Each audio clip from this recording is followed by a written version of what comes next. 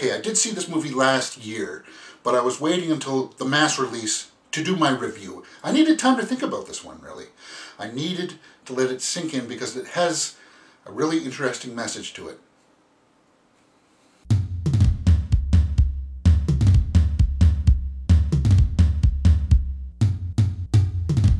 So I'm going to be talking about the movie Her, starring Joaquin Phoenix, Amy Adams, Scarlett Johansson, and Chris Pratt. Now, it's directed by Spike Jonze, and it tells the tale of a man who's just come out of a divorce and he finds a relationship with a new operating system on his phone. So I'm going to talk about all the five factors, the acting, the directing, the story, the cinematography, and the score. Let's talk about the acting first. Joaquin Phoenix does a terrific job in playing this almost deadpanned, emotionless person who is trying to find somebody or something that he can relate to. So the operating system is, is voiced by Scarlett Johansson, and she did a really good job of convincing you that this AI had a real personality, just the way that she used her voice. So when you read how this movie came together, like let's talk about the directing a little bit. It wasn't Scarlett Johansson that was originally in that role. It was somebody else.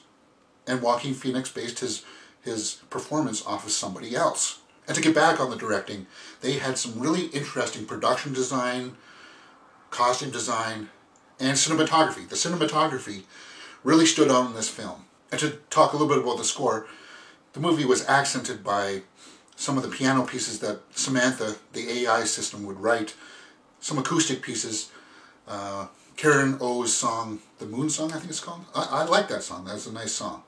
So let's talk about the story. I'm going to try to be delicate with this because it is a sensitive matter for some people. Okay, I saw this like two days after The Wolf of Wall Street, where people walked out of that movie. Now, when I went to see her, people walked out of that movie. Um, they walked out at the hour mark and they walked out at the hour and a half mark. Like, like it just lost people. So let's examine why that would be. I like the story. I think there was some value in it. I liked how the computer learned to love, but then you get so invested in the relationship, you almost get a sense of betrayal at the end. You feel betrayed by her.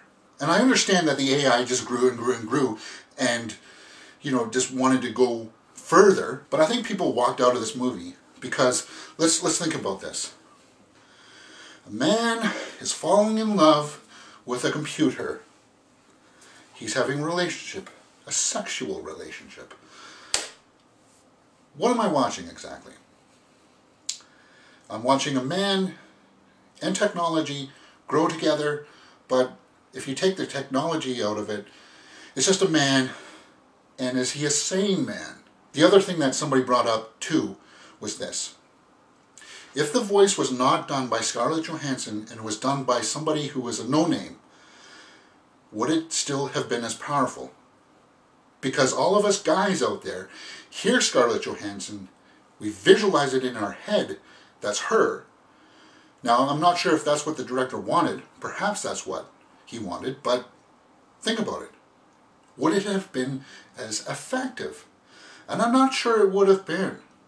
Because as I said, it's just a man talking to a computer, right? And that, I think, people just saw it as a gimmick.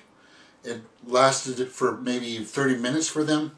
And then once it got past that gimmick, they're just like, okay, this guy's got to get a grip on reality and stop doing this. So maybe it angered people. I'm not sure why. I just think you have to go into this movie with an open mind, knowing that it's about technology, knowing the brief synopsis of what you're getting yourself involved in. But at the end, when the credits started and I was sitting in my seat, I was thinking about it. This is not a happy movie.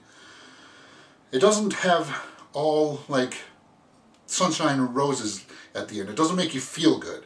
And if it does make you feel good, let me know how and why in the comments below. Okay, so I did talk about the five factors. Out of my points, I'm going to say 3 out of 5. That's an 8 out of 10. Alright, that's my review for her. If you've liked what you've seen, please hit that thumbs up button. And subscribe!